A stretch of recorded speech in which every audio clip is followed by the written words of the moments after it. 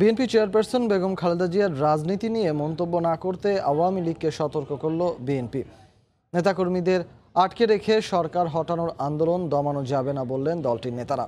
এদিকে কর্মসূচির নামে বিশৃঙ্খলা করলে বিএনপিকে সমুচিত জবাব দেওয়ার হুঁশিয়ারি দিয়েছে আওয়ামী লীগ নেতারা। প্রধানমন্ত্রীর মানবিক বিবেচনায় নির্বাহী আদেশে দু হাজার বিশ সালের পঁচিশে মার্চ থেকে দুর্নীতির মামলায় দণ্ডপ্রাপ্ত বিএনপি চেয়ারপারসন বেগম খালেদা জিয়া কারাগারের বদলে গুলশানের বাসায় থাকছেন। শুক্রবার তার স্থায়ী মুক্তির দাবিতে জাতীয় প্রেস ক্লাবের সামনে অবস্থান নেয় বিএনপি ও অঙ্গ সংগঠনের নেতাকর্মীরা। কর্মসূচিতে দলের স্থায়ী কমিটির সদস্য আমির খসরু মাহমুদ চৌধুরী, বেগম জিয়ার রাজনীতি করা ও তার নির্বাচনে অংশ নেওয়ার বিষয়ে বক্তব্য না রাখতে আওয়ামী লীগ নেতাদের সতর্ক করেন। যখন এই সমস্ত কথা বলেন বেগম জিয়া রাজনীতি করতে পারবে কিন্তু নির্বাচনে অংশগ্রহণ করতে পারবে না। মাথায় রেখে বলবেন কেউ নির্বাচন করতে পারবেন না। আপনাদের আগামী দিনে কারও নির্বাচন করার অধিকার থাকবে না। সুতরাং কথা চিন্তা করবেন। আন্দোলনের মাধ্যমে আবারও সরকার পতনের হুঁশিয়ারি দেন দলটির জ্যেষ্ঠ নেতারা। এই সরকারকে সরাতে হবে এবং একটি সুষ্ঠু অবাধ নির্বাচনের মধ্য দিয়ে জনগণের প্রতিনিধির সমন্বয়ে একটি সরকার এই দেশের জন্য অপরিহার্য। এদিকে সকালে ধানমন্ডি বত্রিশ নম্বরে জাতির পিতা বঙ্গবন্ধু শেখ মুজিবুর রহমানের প্রতিকৃতিতে ফুল দিয়ে শ্রদ্ধা নিবেদন শেষে আওয়ামী লীগের যুগ্ম সাধারণ সম্পাদক আফম বাহাউদ্দিন নাসিম গণমাধ্যমকে জানান বিএনপির আন্দোলনে ভীত নয় আওয়ামী লীগ। এই আওয়ামী লীগের নেতাকর্মীরা বিএনপি জামাতিদের মতো দেশ বিরোধী অপশক্তির কাছে কখনই ভয়ে ভীতে হতে পারে না। নির্বাচনের পথে যারা বাধার সৃষ্টি করবে, অর্থাৎ শক্তি প্রয়োগ করার চেষ্টা করবে অথবা গায়ের জোরে বিশৃঙ্খলা করার চেষ্টা করবে, তাদের বিপক্ষে জনগণকে নিয়ে আমরা সঠিক সমুচিত জবাব আমরা দেওয়ার জন্য সবসময়ের জন্যই আমরা প্রস্তুত থাকি। আন্দোলনের নামে বিএনপি বিশৃঙ্খলা করলে জনগণকে সঙ্গে নিয়ে সমুচিত জবাব দেওয়া হবে বলেও হুঁশিয়ারি দেন এই আওয়ামী লীগ নেতা। মার্জিয়া মুমু সময় সংবাদ ঢাকা। রোজার আগেই বেসামাল মাংসের বাজার। মুরগির সঙ্গে ঊর্ধ্বমুখী গরু খাসির দাম। এক সপ্তাহে ব্রয়লারের দাম কেজিতে আরও দশ টাকা বেড়ে বিক্রি হচ্ছে আড়াইশো টাকা। এদিকে অস্বাভাবিক দাম বাড়ানোর পর কিছুটা স্থিতিশীল চাল, ডাল, তেল সহ নিত্যপণ্যের দাম। এ অবস্থায় আমদানি পর্যায়ে কঠোর নজরদারি দাবি ব্যবসায়ীদের। কাজল আবদুল্লার রিপোর্ট। মূল্য তালিকা বোর্ডে নাম থাকলেও মুরগির দাম নেই। এতেই বোঝা যায় কতটা অস্থির মুরগির বাজার। এক মাসের ব্যবধানে কেজিতে ব্রয়লারের দাম বেড়েছে বিদ্যুৎ গতিতে প্রায় একশো টাকা। গত সপ্তাহে দশ টাকা কমানোর পর শুক্রবার আবারও কারণ বাজারে বিশ টাকা বাড়িয়ে বিক্রি হচ্ছে। ব্রয়লার দুইশো পঞ্চাশ টাকা ও সোনালি দুইশো চল্লিশ টাকায়। ব্যবসায়ীদের অজুহাত সরবরাহ সংকট। একইভাবে খাসি এগারোশো ও গরুর মাংসের দাম থেকেছে সাতশো পঞ্চাশ টাকায়। আগের সপ্তাহে ব্রয়লারে আপনার দুশো তিরিশ টাকা ছিল আর সোনালি ছিল আপনার তিনশো তিরিশ টাকা। বড়টা চলতেছে দুশো তিরিশ দুশো চল্লিশ। আর ছোট যেটা এটা চলতেছে দুশো পঞ্চাশ। মুরগি বলেন মাংস বলেন এটা কোনো দিকে যাওয়ার মতো এখন মধ্যবিত্ত মানুষের আমাদের মতন মানুষের যাওয়ার মতন ক্ষমতা খুবই কম। বুঝছেন? এখন এটা উপর লেভেলে যারা আছে হেরা কিছু খাইয়ে বাঁচতে পারবে কিন্তু মধ্যবিত্ত তো মাঠে নামিয়ে যাবে সাতশো পঞ্চাশ টাকাও ব্যস্ত আছে প্লাস সাতশো তিরিশ বিশ সাতশো ব্যস্ত আছে যেহেতু কাঁচা মাল বাজারে ডাল আটা চিনি ছোলা বিক্রি হচ্ছে আগের মতোই বাড়তি দামি। আপাতত নেই সংকট তবে রোজাকে কেন্দ্র করে আমদানি পর্যায়ে দাম তদারকির দাবি খুচরা ব্যবসায়ীদের। রোজায় আমার মনে হয় যে দাম বাড়বে না কারণ বিভিন্ন কোম্পানি বিভিন্ন জায়গার থেকে ইয়া করে তো ইনপুট করে তো কমার এই সম্ভাবনা বেশি বাড়ার কোনো স্কোপ নেই। ইনপুটের ব্যবসা করে তাদেরকে যদি একটু চাপে রাখে আশা করি বাজারটা আর এরকম হুয়াল্লা করে বাড়বে না এরকম সিন্ডিকেটও হবে না। এদিকে শীতের সবজি সরবরাহ কমেছে তাই শিম শশা লাউ কুমড়া বেগুন সহ বেশিরভাগ সবজির দাম বেড়েছে কেজিতে পাঁচ থেকে দশ টাকা পর্যন্ত। আপনার বেগুন বিক্রি করছি তিরিশ টাকা এখন বেগুন পঁয়ত্রিশ থেকে চল্লিশ টাকা শসা এখন চল্লিশ টাকা মূলা ছিল আগে বিশ টাকা পঁচিশ টাকা এখন এগুলা আপনার চল্লিশ টাকা হয়েছে। ক্যারিং খরচ বেশি আমদামি কম। এই জন্য মালের দাম বাড়তি। রাজধানী বাজারে প্রায় দু মাস ধরে স্থিতিশীল রয়েছে আগেই বাড়িয়ে রাখা চালের দাম। কাজল আবদুল্লাহ সময় সংবাদ ঢাকা। বেপরোয়া গতির পিকআপ ভ্যানের চাপায় প্রাণ হারালেন অটোরিকশা চালক সহ এক পথচারী। সকালে রাজধানীর রায়ের বাগে রাস্তার পাশে দাঁড়িয়ে থাকা অটোরিকশা চালক ও পথচারীদের ওপর পিকআপ ভ্যানটি উঠিয়ে দিলে ঘটে মর্মান্তিক এ দুর্ঘটনা। এ ঘটনায় আহত হয়েছেন দুই পুলিশ কর্মকর্তা সহ তিনজন। আটক করা হয়েছে গাড়িটির চালক ও সহযোগীকে। স্বামীকে হারিয়ে হাসপাতাল চত্বরে এভাবেই আহাজারি করছেন নীলুফা বেগম। দুই সন্তানের ভবিষ্যৎ চিন্তায় যেন তার চোখে মুখে অন্ধকার নেমে এসেছে। শুক্রবার সকালে রাজধানীর রায়েরবাগে পিকআপ ভ্যান চাপায় নিহত হন সিএনজি অটোরিকশা চালক আকবর সহ দুইজন। স্বজনরা জানান, রায়েরবাগ ফুটওভার ব্রিজের নিচে অটোরিকশার পাশে দাঁড়িয়েছিলেন চালক, দুই পুলিশ কর্মকর্তা সহ পথচারীরা। এ সময় বেপরা গতির একটি পিকআপ ভ্যান তাদের উপর উঠিয়ে দেয়। গুরুতর আহতদের উদ্ধার করে ঢাকা মেডিকেলে নিয়ে যাওয়ার পর চিকিৎসকরা দুইজনকে মৃত ঘোষণা করেন। চিকিৎসাধীন রয়েছেন দুই পুলিশ কর্মকর্তা সহ তিনজন। পুলিশ ডিউটি করতেছে সোর্স নিয়ে এবং পাবলিক দাঁড়ায় হয় চেক করতে আছে। পিক আপ গতি নিয়ে আইছে ঘুমের চোখে সরাসরি ডাইরেক্ট মেরে দিছে। রাত্রে আর কি সিএনজি চালায়। মানে নাইটে গাড়ি চালায়। তো উনি তো সাধারণত মানে যেহেতু রাত্রে চালায় উনি তো ইয়ার টাইমই বের হয়ে যায় পাঁচটা ছয়টার দিকে বের হয়ে যায়। দুর্ঘটনার পরপরই ঘাতক পিকআপ ভ্যানটির চালক ও সহযোগীকে আটক করেছে পুলিশ। যে পিকআপটা ধাক্কা দিয়েছে বা বা ধাক্কা দিয়েছে তাদেরকে সেই পিকআপ আমাদের জব্দ করা হয়েছে। ওইখানে যে দুজন চালক ছিলেন তাদেরকেও গ্রেফতার করা হয়েছে। নিহত আকবরের বাড়ি ভোলার লালমোহন উপজেলায় আর হাসানের বাড়ি বরগুনার বেতাগি উপজেলায়। হায়দার আলী সময় সংবাদ ঢাকা। দক্ষিণ আফ্রিকায় সড়ক দুর্ঘটনায় নিহত চারজনের দাফন সম্পন্ন হয়েছে। দেশে ফেরার পর সকালে গ্রামের বাড়ি ফেনীতে জানাজার পর দাফন করা হয়। দুর্ঘটনায় নিহত শিশু নাদিমকে দক্ষিণ আফ্রিকায় দাফন করা হলেও চিকিৎসাধীন অবস্থায় মারা যাওয়া মিলনের লাশ বিকেলে দেশে পৌঁছানোর কথা রয়েছে।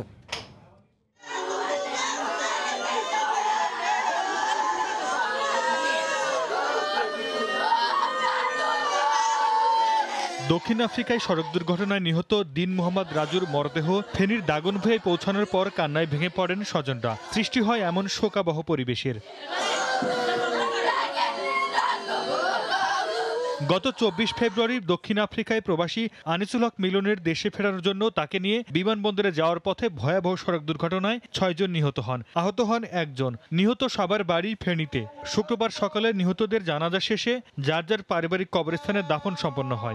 বিশ রমজানে আমার ছেলে বাস- বাড়িতে আসবে। আমার ছেলে যেগা কুয়েত থাকে এরে বলছে বাবার সাথে ঈদ করুম এবছর রমজানে আসুম।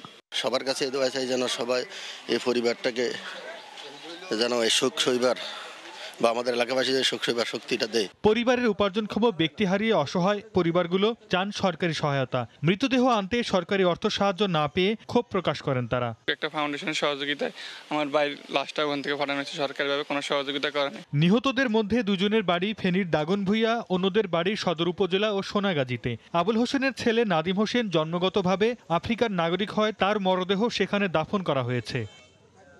সময় সংবাদ, ফেনী। আড়াই বছর হতে চললেও নিজ দেশে ফিরে যেতে পারছে না দুই জাপানি শিশু। সন্তানদের নিয়ে মাতৃভূমিতে ফিরে যেতে বাংলাদেশের এক আদালত থেকে আরেক আদালতে যাচ্ছেন মা এরিকো।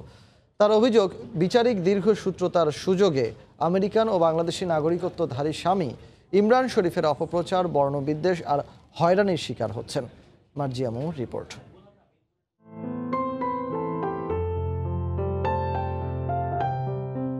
মায়ের সাথে সন্তানের পৃথিবীর সবচেয়ে শুদ্ধতম, গভীরতম, নিঃস্বার্থ, ভালোবাসার সম্পর্ক। সন্তানের জন্য মা অতুলনীয়।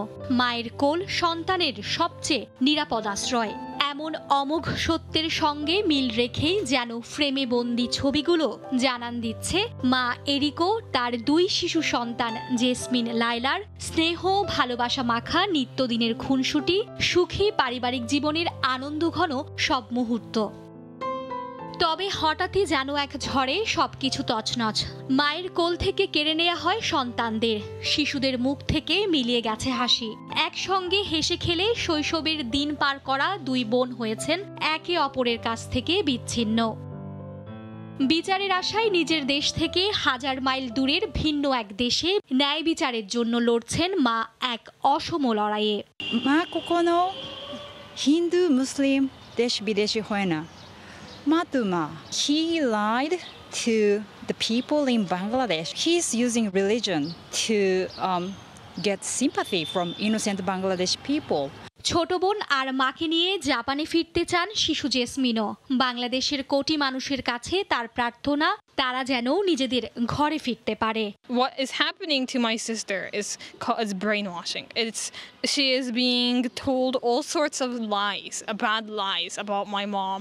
এমন অস্বাভাবিক পরিবেশে দুই শিশু সবচেয়ে ক্ষতিগ্রস্ত হচ্ছেন জানিয়ে রাষ্ট্রের প্রধান আইন কর্মকর্তা জানালেন আদালতে শিগগিরই বিষয়টি দ্রুত নিষ্পত্তির উদ্যোগ নেওয়া হবে আমাদের সবচেয়ে আগে দেখতে হবে বাচ্চারা কার কাছে ভালো থাকবে কোথায় ভালো থাকবে সেটা অন্য মামলার মতো এটাকে দেরি না করে যত দ্রুত সম্ভব এই মামলার নিষ্পত্তি করা উচিত। পারিবারিক সহিংসতার কারণে জাপানের পারিবারিক আদালতে স্ত্রীর কাছে সন্তানদের হেফাজত হারানোর পর দুই শিশু সন্তান জেসমিন ও লায়লাকে ঘুরতে নিয়ে যাবার কথা বলে বাংলাদেশে নিয়ে আসেন বাবা ইমরান শরীফ। শিশুদের জানানো হয় তাদের মা তাদের কাছে চলে আসবে। তবে সন্তানদের জন্য বাংলাদেশে আসার পরপরই শিশুদের সঙ্গে দেখা করতে না দেয়া, লোক দিয়ে এরিকোকে হয়রানি করা হলে আদালতের দ্বারস্থ হন মা এরিকো। গত উনত্রিশ জানুয়ারি পারিবারিক আদালত দুই শিশু মায়ের কাছে থাকবে বলে রায় দেন। তবে রায়ের পরপরই শিশু লায়লাকে মায়ের কাছ থেকে নিয়ে যান ইমরান শরীফ।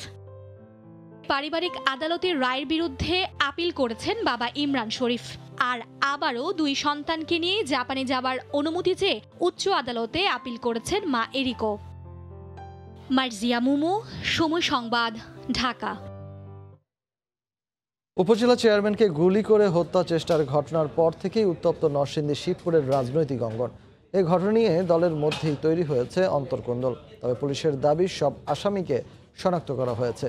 মাহমুদুল হাসান মাহফুজের ছবি ও আশিকুর রহমান পিয়ালের পাঠানো তথ্য নিয়ে রিপোর্ট।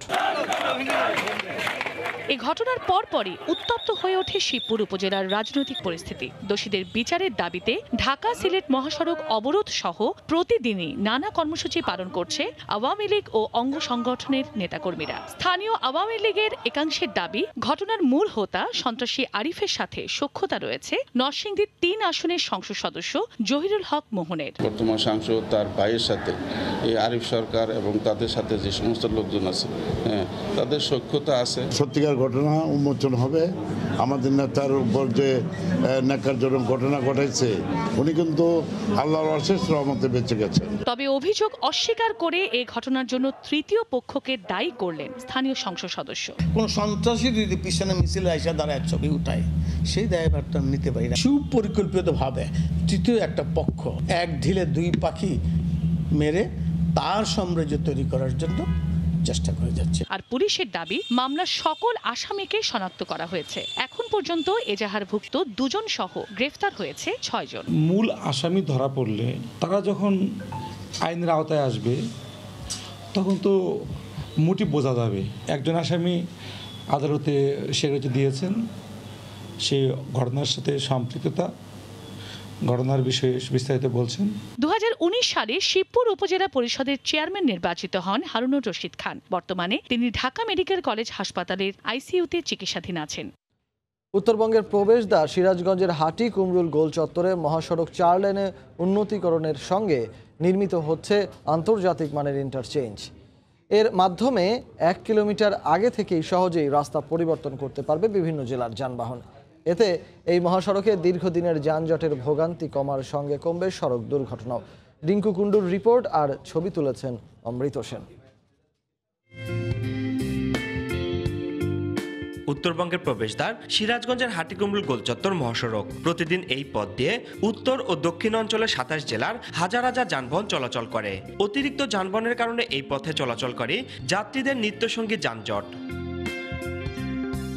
দুর্ভোগ কমাতে সড়ক ও জনপথ বিভাগ, উত্তরবঙ্গ মহাসড়ক চার লেনে উন্নীতকরণের পাশাপাশি হাটিকুমুল গোলচত্বর এলাকা নির্মাণ করছে আন্তর্জাতিক মানের ইন্টারচেঞ্জ প্রকল্পটি বাস্তবায়ন হলে এলাকার এক কিলোমিটার দূর থেকে ভাগ হয়ে যাবে বিভিন্ন জেলার যানবাহনগুলো। দৃষ্টিনন্দন এই ইন্টারচেঞ্জে থাকছে আধুনিক নানা সুযোগ সুবিধা। এছাড়া পথচারীদের পারাপারের জন্য ফ্লাইওভার ও ওয়াকওয়ে যাত্রীবাহী বাসের যাত্রীদের জন্য হোটেল ও রেস্টুরেন্ট সেই সাথে দূরপাল্লার পণ্যবাহী ট্রাক চালকদের জন্য বিশ্রামাগার। চালক ও যাত্রীরা জানান, প্রকল্পটি বাস্তবায়ন হলে দীর্ঘদিনের যানজটের ভোগান্তি কমার সাথে সাথে নির্ধারিত সময়ে গন্তব্যে পৌঁছানো যাবে। আন্তর্জাতিক মানের এই ইন্টারচেঞ্জে ধীরগতির পরিবহনের জন্য থাকছে আলাদা লিঙ্ক রোড। এতে খুশি থ্রি হুইলার চালকেরাও। প্রকল্প পরিচালক মাহবুবুর রহমান জানান, হাটিকুমরুল ইন্টারচেঞ্জের মাধ্যমে যোগাযোগ ব্যবস্থা সহজ হওয়ার পাশাপাশি গতিশীল হবে উত্তর অঞ্চলে মানুষের আর্থসামাজিক উন্নয়নও। সেই সাথে এই অঞ্চলের ব্যবসা বাণিজ্যে আসবে গতি। ইন্টারচেঞ্জের প্রকল্পের ব্যয় ধরা হয়েছে প্রায় সাতশো তেতাল্লিশ কোটি টাকা।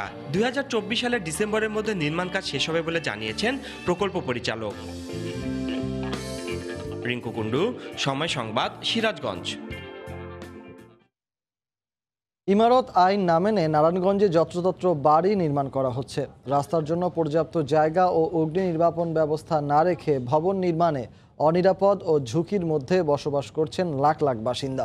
নির্দেশনা মেনে ভবন নির্মাণ না করলে ব্যবস্থা নেওয়া হবে বলে জানিয়েছেন রাজু কর্তৃপক্ষ। শওকত আলী সৈকতের তথ্য ও আরিফ হোসেনের ছবি নিয়ে রিপোর্ট। নারায়ণগঞ্জ নগরীর ব্যস্ততম আমলাপাড়া প্রেসিডেন্ট মোড় মিশনপাড়া, খানপুর, তল্লা, গলাচিপা, উকিলপাড়া, টানবাজার ও নলুয়াপাড়া সহ অধিকাংশ এলাকায় স্বাধীনতার পর থেকে অপরিকল্পিতভাবে গড়ে উঠেছে যত্রতত্র ঘরবাড়ি। এসব এলাকার প্রবেশপথ এতটাই সরু যে পাশাপাশি দুইটা রিকশাও একসাথে চলতে পারে না। ফলে গুরুতর অসুস্থ রোগীকে অ্যাম্বুলেন্সে হাসপাতালে নিয়ে যেতে দেরি হওয়ার পথেই রোগীর মৃত্যু হয়। এছাড়া অগ্নিকাণ্ড ঘটলে ফায়ার সার্ভিসের দমকল বাহিনীর গাড়িও পাড়া মহল্লায় প্রবেশ করতে পারে না। নগরবাসীর অভিযোগ রাস্তার জন্য পর্যাপ্ত জায়গা না রেখে অপরিকল্পিতভাবে বাড়িঘর নির্মাণের কারণে চরম ঝুঁকির মধ্যে বসবাস করছেন তারা। অপরিকল্পিতভাবে বিভিন্ন বাড়িঘর হওয়াতে আসলে পাড়া মহল্লার সমস্ত রাস্তাগুলোই শুরু হয়ে গেছে। এখানে আমার মাও যদি অসুস্থ হয় আমি বের করার জন্য হসপিটালে নেওয়ার জন্য একটা স্ট্রেচার ঢুকাতে পারি না। সবাই যেন জায়গা রাইখা এই কাজগুলো করে যাতে আগুন পানিতে মানুষের কোনো মৃত্যু না ঘটে। নগরীর বাড়িঘর নির্মাণের নকশা অনুমোদন করে রাজধানী উন্নয়ন কর্তৃপক্ষ। তাদের দাবি নিয়ম বহির্ভূতভাবে ভবন নির্মাণ বন্ধে নারায়ণগঞ্জে গত দুই বছর ধরে বিভিন্ন এলাকায় উচ্ছেদ অভিযান পরিচালনা করা হচ্ছে। অবৈধভাবে ভবন নির্মাণ করা কোনো মতেই সঠিক নয় এবং এটি করলে আমরা এভাবেই আগামীতে উচ্ছেদ কার্যক্রম পরিচালনা করে তাদের অবৈধ অংশ অপসারণ করব। অপরিকল্পিত নগরায়নের ফলে নারায়ণগঞ্জ জেলায় অন্তত দশ লাখ মানুষ ঝুঁকির মধ্যে বসবাস করছেন সময় সংবাদ, নারায়ণগঞ্জ। খুলনার কয়রা উপজেলায় গুচ্ছগ্রাম প্রকল্পের দ্বিতীয় পর্যায়ে নির্মিত সাড়ে চারশো ঘরের মধ্যে খালি পড়ে রয়েছে দুশো নব্বইটি। কাজ শেষ না করেই হস্তান্তর করায় প্রথম থেকে ফাঁকা রয়েছে বেশিরভাগ ঘর। নিয়ামুল হোসেন কচির তোলা ছবিতে তানজিম আহমেদের রিপোর্ট। অতি দরিদ্র ও গৃহহীন পরিবারের জন্য সরকারি অর্থায়নে নির্মিত ঘরগুলো ফাঁকা পড়ে রয়েছে। ঘরের চারপাশে টিনের ঘের থাকলেও মেঝেতে দেয়া হয়নি পর্যাপ্ত মাটি। ক্লাইমেট ভিকটিমস রিহ্যাবিলিটেশন প্রজেক্টের আওতায় দু হাজার সতেরো, আঠারো এবং দু হাজার আঠারো, উনিশ অর্থ বছরে খুলনার কয়রা উপজেলার তিনটি স্থানে সরকারি খাস জায়গায় ঘরগুলো নির্মাণ করা হয়। তবে হস্তান্তরের পর থেকে কর্মসংস্থান, সুপেয় পানি, বিদ্যুৎ, যোগাযোগ, স্বাস্থ্যকেন্দ্র সহ অন্যান্য সুবিধা না থাকায় ঘর ছাড়তে শুরু করেন বাসিন্দারা।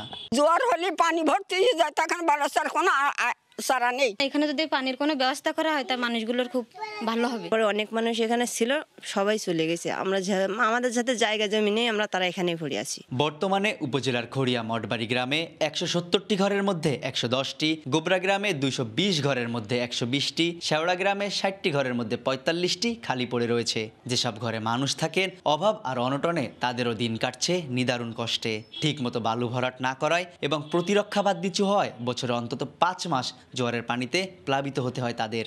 সংকট নিরসনে সংশ্লিষ্টদের দ্বারস্থ হলেও সমাধান হয়নি বলে অভিযোগ বাসিন্দাদের। ঘরগুলো বসবাসের উপযোগী করতে উদ্যোগ নেওয়ার কথা জানান জেলা প্রশাসনের শীর্ষ কর্মকর্তা। উচ্চগ্রামে যাতে মানুষজন থাকতে পারে এবং ভালোভাবে থাকতে পারে সেটার জন্য প্রয়োজনীয় ব্যবস্থা গ্রহণ করা হবে। কয়রা উপজেলার তিনটি ইউনিয়নে প্রায় একুশ একর জমিতে বাস্তবায়িত প্রকল্পের বিভিন্ন খাতে ব্যয় হয় এগারো কোটি টাকা। যাদের কখনো আশ্রয় এবং আবাসনের সংস্থান হয়নি, তাদের জন্য প্রধানমন্ত্রীর উপহার এসব ঘর। তবে স্বপ্ন জাগানো ঘরগুলো পড়ে রয়েছে নিদারুণ অবহেলায়। উদ্যোগ ও সংস্কারে ফের এসব ঘর আলো ছড়াবে এমনটাই প্রত্যাশা স্থানীয়দের। খুলনার কয়রা থেকে তানজিম আহমেদ সময় সংবাদ। নিয়ম নীতির বালাই নেই মানিকগঞ্জের ইউনিয়ন ডিজিটাল সেন্টারে। ভোগান্তি আর সরকার নির্ধারিত মূল্যের অতিরিক্ত অর্থ ছাড়া পাওয়া যায় না কোনো সেবা, এমন অভিযোগ ভুক্তভোগীদের। এ ব্যাপারে ব্যবস্থা নেওয়ার আশ্বাস জেলা প্রশাসনের। রমজান আলীর ক্যামেরায় মোহাম্মদ ইউসুফ আলীর রিপোর্ট। মানিকগঞ্জের হরিরামপুরের বাল্লা ইউনিয়ন পরিষদ ও ডিজিটাল সেন্টার। এখানে ভোগান্তি ছাড়া পাওয়া যায় না কোনো সেবা। নিয়মনীতি তোয়াক্কা না করে নয়টার অফিস শুরু হয় এগারোটায়। একই অবস্থা মানিকগঞ্জ সদর সিংগাইর সাটুরিয়া সহ জেলার অন্যান্য ডিজিটাল সেন্টারে। জন্ম সনদ প্রত্যয়নপত্র জমির পর্চা সহ নানা কাজের অতিরিক্ত অর্থ আর ভোগান্তি ছাড়া মিলছে না বলে অভিযোগ ভুক্তভোগীদের। আমি এই জায়গায় নিবন্ধনের টাকা জমা দিয়েছিলাম। কাগজ সহ টাকা সহ আমি পাইনি। পঞ্চাশ টাকা করে নিত সবাই যে ধর্ম নিমন্ত্রণ বলতে এখন বর্তমান দুশো টাকা করে নেয়। টাকা ছাড়া কোনো কাজ করে না। কাজ তো হয়ই না। কোনো কাজই আমরা পাইতেছি না। যে কোনো কারণে আসলে টাকা পয়সায় লাগে। নিয়মিতভাবে আসে না। আসে না মানে তারা দেখা যায় যে এগারোটা বারোটার দিকে আসে। বারবার সতর্ক করেও কোনো নিয়ন্ত্রণ করা যাচ্ছে না বলে অভিযোগ ইউপি চেয়ারম্যানের। আগে থেকে তাদের এই এইভাবে চলতে তারা একটা অভ্যস্ত হয়ে গেছে। কিন্তু আমি আমার এক বছর যে পার হয়ে গেল এই এক বছরের মধ্যে তাদেরকে আমি অনেকবার এই কথাটা বোঝানোর চেষ্টা করছে যে আপনারা আগে কি করছেন না সেটা বড় কথা না। কিন্তু আমার আমলে আপনারা সঠিকভাবে অফিস করতে হবে এবং সঠিক- সঠিকভাবে সেবা দিতে হবে। কিন্তু অনেকেই হয়তো কিছুটা শুনলেও কিন্তু বেশিরভাগই এরা চায় সে আগের মতো চলো। তবে সরকার নির্ধারিত ফির অতিরিক্ত টাকা নেওয়া হলে ব্যবস্থা নেওয়ার আশ্বাস জেলা প্রশাসকের। ইউনিয়ন ভিত্তিক একটা নির্ধারণ করে দেওয়া আছে যে এত টাকা নিতে পারবে সেটা পঞ্চাশ টাকা কিংবা একশো টাকা যেটা নির্ধারণ করা আছে। নির্ধারিত ফিয়ের বাইরে যদি কেউ টাকা নেয় সেক্ষেত্রে কমপ্লেন আসলে আমরা তার উদ্যোক্তাশিপ যেটি আছে সেটি বাতিল করা সহ অন্যান্য ব্যবস্থা গ্রহণ করব। মানিকগঞ্জ জেলার সাতটি উপজেলায় পঁয়ষট্টিটি ইউনিয়নে ডিজিটাল সেন্টার রয়েছে। সময় সংবাদ, মানিকগঞ্জ। দীর্ঘদিনের অভিযোগ আর ভোগান্তির অবসান ঘটিয়ে এখন পনেরো দিনেই মিলবে ড্রাইভিং লাইসেন্স। অবিশ্বাস্য মনে হলেও স্মার্ট বাংলাদেশ স্লোগান বাস্তবায়নের অংশ হিসেবে জেলা পর্যায়ে নতুন কার্যক্রম শুরু করেছে বিআরটিএ কর্তৃপক্ষ। ফলে ড্রাইভিং লাইসেন্স প্রত্যাশীদের পড়তে হবে না ভোগান্তিতে। কাদের তালুকদারের তথ্য, রাশেদ খানের ছবিতে রিপোর্ট। দীর্ঘদিনের অভিযোগ আর ভোগান্তির অবসান হতে যাচ্ছে ড্রাইভিং লাইসেন্স প্রত্যাশীদের।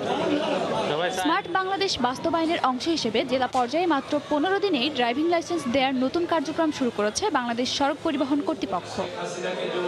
একই দিনে আঙুলের ছাপ নিয়ে ওই দিনই পরীক্ষা সহ সকল কার্যক্রম শেষ করে পনেরো দিনের মধ্যেই ড্রাইভিং লাইসেন্স হাতে পাওয়া যাবে। আবার এই লাইসেন্স আবেদনকারীর বাড়িতেও পৌঁছে দেওয়া হবে। শুনতে অবাক লাগলেও স্মার্ট বাংলাদেশের বাস্তবায়ন করতে আঠাশ ফেব্রুয়ারি থেকে জেলা পর্যায়ে প্রথম বিআরটিএ কর্তৃপক্ষ এই কার্যক্রম শুরু করে। প্রথম দিনেই আবেদনকারীরা এই সুযোগ গ্রহণ করতে বিআরটিএ অফিসে ছুটে আসেন। একই দিনে আঙুলের ছাপ ও পরীক্ষা দিতে পেরে খুশি তারা। পূর্বে আমাদের ড্রাইভিং লাইসেন্স করার জন্য তিন চার বছর সময় লেগে যেত। দেখে তিন চার বছর এটা সোনার মতো মনে যে পাবো কি পাবো না কতদিন পরে পাবো?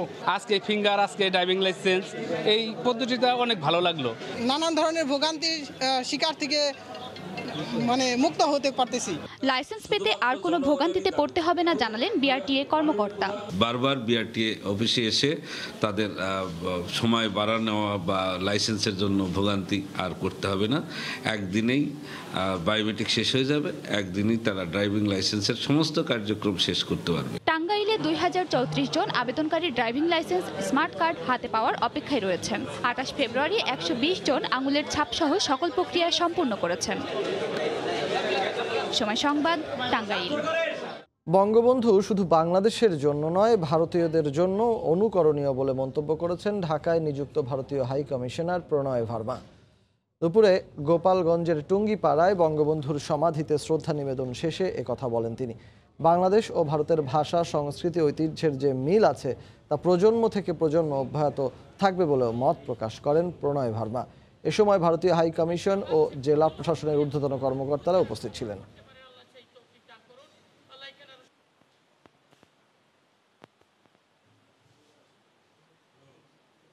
Bangabandhu's, uh, you know, his whole life, his sacrifice, his vision.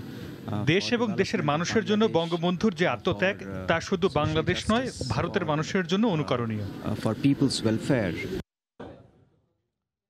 সাপ্তাহিক ছুটির দিনে সমুদ্র সৈকত কক্সবাজারে ভ্রমণ পিপাসুদের উপচে পড়া ভিড় তীব্র গরম থেকে বাঁচতে সবাই নেমে পড়েছেন সাগরের নোনা জলে মেতেছেন সমুদ্র স্নান টিউবে গা ভাসানো ও জেড স্কিতে নীল জলরাশি ভ্রমণে মোহাম্মদ ফরাজির ক্যামেরায় বিস্তারিত জানাচ্ছেন সুজাউদ্দিন রুবেল।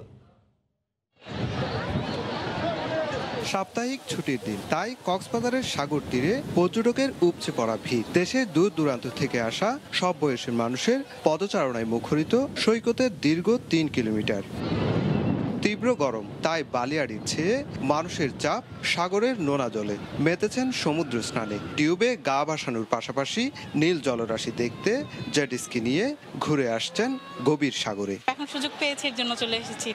মানে মেন যে টাইমটা ছিল শীতের সময় সে সময় সুযোগ পাইনি এর জন্য আসতে পারিনি। এত কষ্ট করে আসছি এখন সমুদ্র- সমুদ্রটা দেখা যে এতটা এখন- যে কষ্টটা কষ্টটা এখন ভুলে গেছি। গরম একটু পড়েছে সত্যি বাট এখানে আসার পরে সেটার অনুভূত হচ্ছে না। বিপুল সংখ্যক পর্যটকের আগমনে দারুণ খুশি সৈকত পাড়ের ব্যবসায়ীরা। তারা বলছেন পর্যটকের আগমন অব্যাহত থাকায় চাঙ্গা তাদের ব্যবসা। পর্যটক এখন মোটামুটি পর্যটক আছে। আমাদের ব্যবসাটা ওই খুব ভালো চলতেছে। আমাদের ব্যবসা আলহামদুলিল্লাহ ভালো হচ্ছে। সবাই কিন্তু বেশ সবাই কিন্তু ছবি নিয়ে এনজয় করতেছে। তীব্র গরমের কারণে পর্যটকরা নোনা জলে সমুদ্র স্নানে ব্যস্ত থাকায় সজাগ রয়েছেন লাইফগার্ড কর্মীরা। বিভিন্ন পয়েন্টে যেখানে পানির বাড়িতে মানুষ নামে আমরা প্রত্যেকটা পয়েন্টে নিরাপত্তা ইয়ে পারাইছি যেন কোনো প্রকার কোনো পর্যটক বিপদে না পড়ে কক্সবাজার সমুদ্র সৈকত ছাড়াও পর্যটকরা বেশি ভ্রমণ করছেন দীর্ঘ মেরিন ড্রাইভ ও প্রবালদ্বীপ স্যান্ড পার্টিনে সুজাউদ্দিন রুবেল সময় সংবাদ কক্সবাজার। এদিকে ভারতের নয়াদিল্লিতে জি টোয়েন্টির পররাষ্ট্রমন্ত্রী পর্যায়ের বৈঠকে পর্যবেক্ষক হিসেবে অংশ নেয় বাংলাদেশ। বৈঠকে যোগ দিয়ে বাংলাদেশের পররাষ্ট্রমন্ত্রী এ কে আব্দুল মোমেন বলেন রাশিয়া ইউক্রেন যুদ্ধ থামাতে মধ্যস্থতাকারী হতে পারে জি টোয়েন্টিভুক্ত দেশগুলো। চলমান সংকট নিরসনে জোটটি গুরুত্বপূর্ণ ভূমিকা পালন করতে পারে বলেও মন্তব্য করেন তিনি। এর আগে বুধবার জি টোয়েন্টির পররাষ্ট্রমন্ত্রীদের বৈঠকে যোগ দিতে ভারতের নয়াদিল্লি যান তিনি। অংশ নেন কয়েকটি সাইডলাইন বৈঠকে।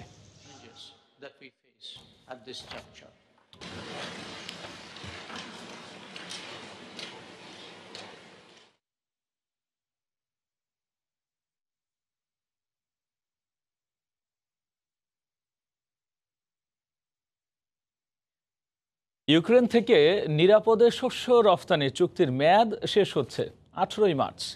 আর এই চুক্তি নবায়নে রাশিয়ার নতুন শর্তে অনিশ্চয়তা তৈরি হয়েছে। রাশিয়া বলছে, শস্য চুক্তি নবায়ন করবে যদি তার দেশের শস্য ও সার রপ্তানিতে বাধা দূর করা হয়। ফলে চুক্তি নবায়ন না হলে বেশি বিপদে পড়বে বাংলাদেশ। ইউক্রেন রাশিয়ার শস্য চুক্তির মেয়াদ শেষ হচ্ছে আঠারোই মার্চ। দুই দেশের যুদ্ধের ফলে চুক্তি নবায়নে তাই দেখা দিয়েছে অনিশ্চয়তা। রাশিয়া বলছে, যদি তার দেশের শস্য ও সার রপ্তানিতে বাধা দূর হয়, তবেই শস্য চুক্তির নবায়ন করা হবে। বিশ্ববাজারে দামের দিক থেকে ইউক্রেন রাশিয়ার গম সবচেয়ে সস্তা হওয়ায় আমদানি শুরুতে ঘাটতি থাকলেও ভয়াবহ কোনো সংকট হয়নি। কিন্তু এই চুক্তি নবায়ন না হলে বেশি বিপদে পড়বে বাংলাদেশ। এমনটাই মনে করছেন বিশেষজ্ঞরা। আমাদের প্রায় সত্তর ভাগ গম কিন্তু এখান থেকে আসে ইউক্রেন থেকে। যে চুক্তি যে কোনো মূল্যেই নবায়ন হোক ইউক্রেনও চাচ্ছে কিন্তু বাধা হচ্ছে রাশিয়া। এখন রাশিয়া বাধা দেওয়ার যৌক্তিক কারণ হচ্ছে পশ্চিমাদের নানান ধরনের স্যাংশনের কারণে কেউ রাশিয়ার সাথে ব্যবসা করতে পারছে না বা ভয় পাচ্ছে। গত বছরের চব্বিশে ফেব্রুয়ারি রাশিয়ার হামলা শুরুর পর ইউক্রেন থেকে শস্য রপ্তানি বন্ধ হয়ে যায়। এতে দেশে দেশে খাদ্য সংকট তৈরির শঙ্কা দেখা দিলে গত বছরের বাইশ জুলাই জাতিসংঘ ও তুরস্কের মধ্যস্থতায় ইউক্রেনের তিনটি বন্দর দিয়ে নিরাপদে শস্য রপ্তানিতে দুই দেশের মধ্যে চুক্তি হয়। চুক্তির পর গত পহেলা আগস্ট ইউক্রেন থেকে শস্য রপ্তানি শুরু হয়। গেল বছর সতেরোই নভেম্বর, চার মাসের জন্য এক দফা নবায়ন হয়, যা শেষ হবে আঠারোই মার্চ। চুক্তি নবায়নে রাশিয়া দিয়েছে নতুন শর্ত। রাশিয়া বলছে রপ্তানিতে আর্থিক লেনদেন, অবকাঠামো ও বিমার ওপর নিষেধাজ্ঞায় বিশ্ববাজারে রাশিয়ার শস্য ও সার রপ্তানিতে বড় বাধা। বাধাহীনভাবে বাজারে প্রবেশের সুযোগ দেওয়া হলেই চুক্তিতে ফিরবে দেশটি। রাশিয়া চুক্তিতে না থাকলে ইউক্রেন থেকে আমদানির সুযোগ বন্ধ হয়ে যাবে। সেক্ষেত্রে রাশিয়া থেকে গম আমদানি বাড়াতে হবে। তবে রাশিয়া থেকে আমদানিতে সব ব্যাংক ঋণপত্র খুলছে না। এতে বাংলাদেশেও গমের সরবরাহ ব্যাহত হচ্ছে। আগে একুশ দিনের পণ্য আসতো, এটা এখন কিন্তু প্রায় চল্লিশ দিন লেগে যাচ্ছে। সুতরাং এই সময়টা কমানোর জন্য আমরা জাতিসংঘের মাধ্যমে বাংলাদেশ দাবি তুলতে পারে। বাংলাদেশ সরকারকে উচিত হবে ব্যাংকগুলোকে এই ব্যাপারে এলসি খোলার জন্য রাশিয়ার সাথে সিদ্ধান্ত নেওয়ার জন্য। জাতিসংঘের ওয়েবসাইটের হালনাগাদ তথ্য অনুযায়ী, চুক্তি কার্যকরের পর থেকে পহেলা মার্চ পর্যন্ত বিশ্বের পঁয়তাল্লিশটি দেশ ইউক্রেন থেকে দুই কোটি সাতাশ লাখ টন শস্য আমদানি করেছে।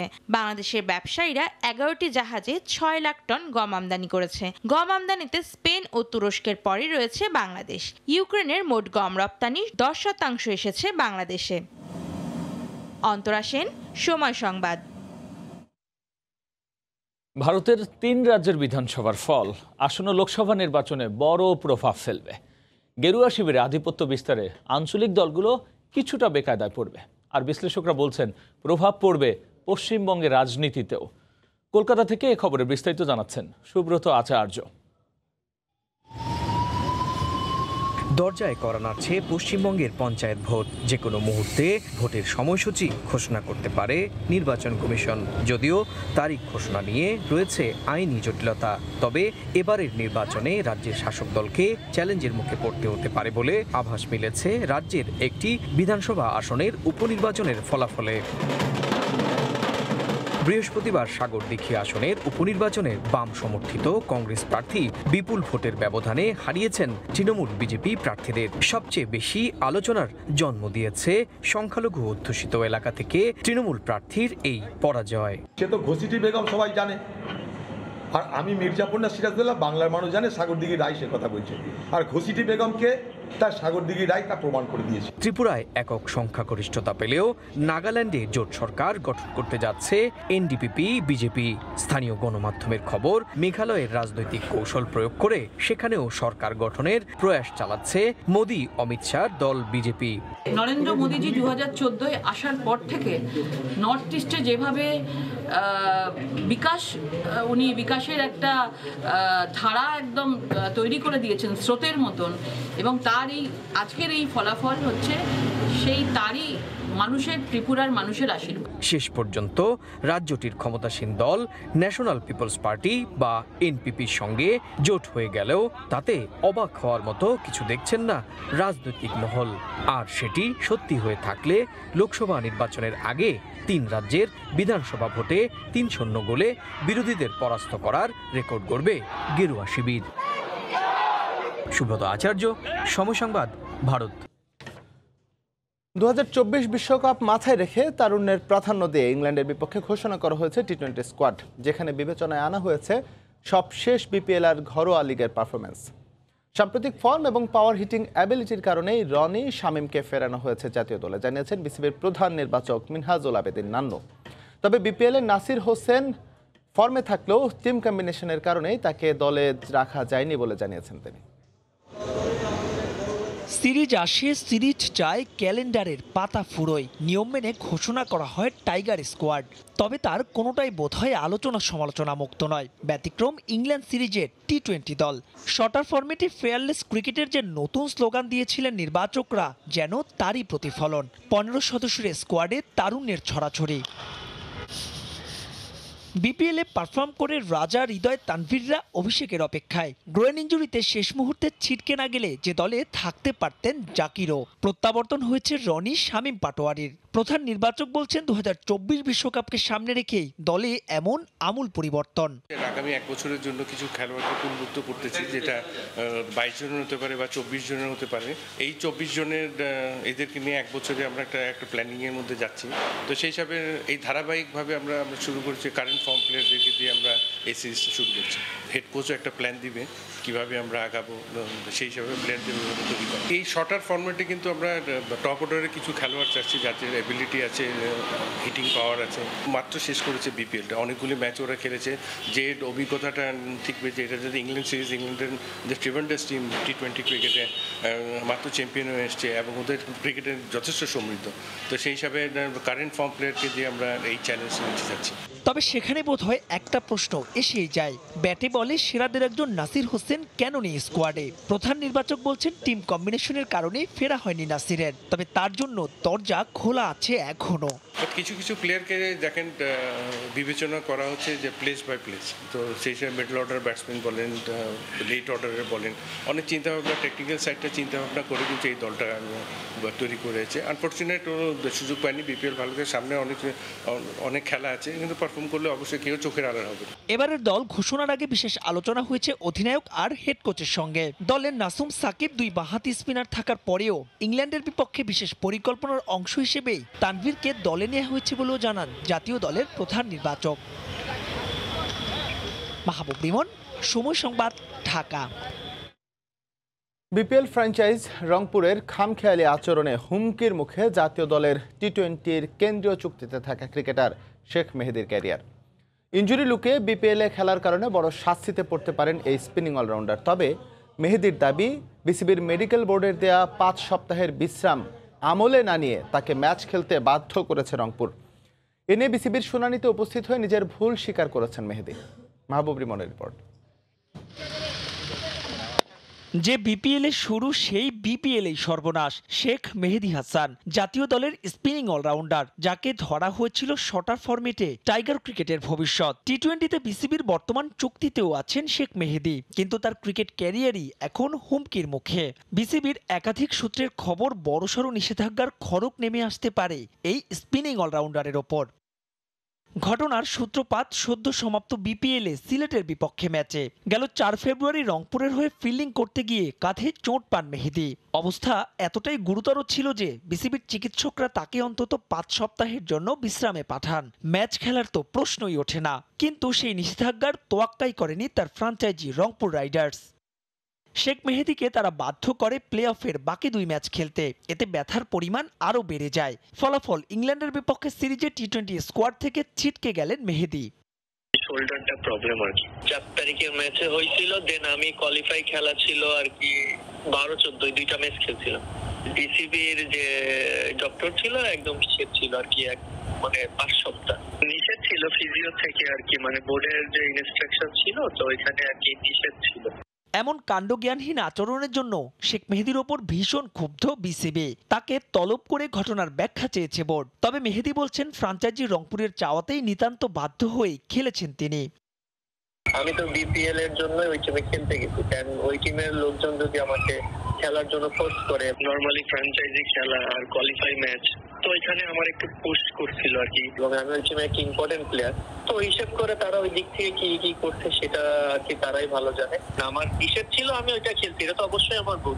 তো ইঞ্জুরটা একটু বেশ ছিল আর কি তবে বিসিবি সূত্রের খবর, এত সহজেই হয়তো নিস্তার মিলছে না মেহেদির। শুধু গুডবুক থেকে নাম কাটাই নয়, বাদ পড়তে পারেন কেন্দ্রীয় চুক্তি থেকেও। তবে ফ্রাঞ্চাইজি রংপুরের কোনো শাস্তি হবে কিনা তা বলে দিবে সময়ই মাহবুব রিমন, সময় সংবাদ, ঢাকা। আসন্ন ঢাকা প্রিমিয়ার লিগে ভালো পারফর্ম করে আবারও জাতীয় দলে ফিরতে চান এনামুল হক বিজয়। ডিপিএলে ভালো খেলতে পারলে তা কাজে আসবে ভারতে ওয়ানডে বিশ্বকাপে, এমনটাই জানান এই ওপেনার। গেল আসরে প্রাইম ব্যাংকের হয়ে রেকর্ড রান সংগ্রাহক বিজয় এবারও চান আবাহনীর হয়ে সেই ধারাবাহিকতা রাখতে। ঐতিহ্যবাহী ক্লাবটিতে খেলার সুযোগ পেয়ে উচ্ছ্বসিত তিনি। দিতে চান আস্থার প্রতিদান। মিরপুর শেরেবাংলায় সিসিডিএমে সাজ সাজ রব। প্রিমিয়ার লিগের সবচেয়ে সফল ক্লাব আবাহনীর ক্রিকেটার নিবন্ধনে যেন তারাঘাট সাকিবকে নিতে চেয়েও শেষ পর্যন্ত পারেনি আবাহনী। তবে ঠিকই বিজয় ও তাসকিনকে দলে ভিড়িয়েছে তারা। গেল ডিপিএলে প্রাইম ব্যাংকের হয়ে রেকর্ড সংখ্যক রান করেছিলেন এনামুল হক বিজয়। পনেরো ম্যাচে তার ব্যাটে আসে এগারোশো আটত্রিশ রান। তবে এক মৌসুম পর আসন্ন ডিপিএলে বিজয় নাম লেখালেন আবাহনী লিমিটেডের হয়ে। সেরেছেন আনুষ্ঠানিক চুক্তিও। এই মৌসুমে আবাহনীতেও ভালো করার চ্যালেঞ্জ বিজয়ের সামনে। আবাহনী তো সবসময় একটা দারুণ নাম ক্লাব ক্রিকেটে যেটা ট্রেডিশন আছে অনেক বছর ধরে এবং এরকম টিমে খেলতে পারাটা অনেক আনন্দের এবং অনেক এক্সাইটিং বটে চ্যালেঞ্জিংও বটে। তা আমি মনে করছি যে দারুণ একটা এক্সাইটিং টুর্নামেন্ট যাবে আশা করি। গেল মৌসুমে লিগের দাপুটে পারফরমেন্সে ডাক পেয়েছিলেন জাতীয় দলে। ভারতের বিপক্ষে ওয়ানডে সিরিজের টিম ম্যানেজমেন্টের আস্থার প্রতিদান দিতে পারেননি তাই ডাক পাননি ইংল্যান্ড সিরিজের দলে। তবে আশা হারাচ্ছেন না বিজয়। অক্টোবরে ভারতের মাটিতে অনুষ্ঠিত হবে ওয়ানডে বিশ্বকাপ। সে কারণে ঘরোয়া ক্রিকেটে মন দিয়ে খেলতে চান বিজয়। ডিপিএলে ভালো পারফর্ম করে আবারও ফিরতে চান বিশ্বকাপের দলে। ওয়ার্ল্ড কাপটা অনেক বেশি ইম্পর্টেন্ট সেটা অনুযায়ী আমার মাথায়ও আছে চেষ্টা করব যে ওয়ার্ল্ড কাপের জন্য একটা ভালো রেজাল্ট করতে পারি আমরা সবাই। তো এটা একটা দারুণ হবে যে প্রিমিয়ার লিগের ম্যাচগুলো সো আমাদের আহ্বানীর হয়ে যদি আমি ভালো পারফরমেন্স করতে থাকি কন্টিনিউয়াসলি আশা করব যে এটা আমার ভালো মতো ন্যাশনাল টিমে কাজে লাগবে। জাতীয় দলে চুয়াল্লিশটি ওয়ানডে ম্যাচ খেলে বিজয়ের সংগ্রহ বারোশো চুয়ান্ন রান। টেস্ট ও টি টোয়েন্টিতে অবশ্য সেভাবে আলো ছড়াতে পারেননি। এবার ডিপিএল এর ম্যাচগুলো রমজান মাসে হলেও তা কোনো সমস্যা হবে না বলেও জানান এই ক্রিকেটার। পারভিন আক্তার, সময় সংবাদ, ঢাকা।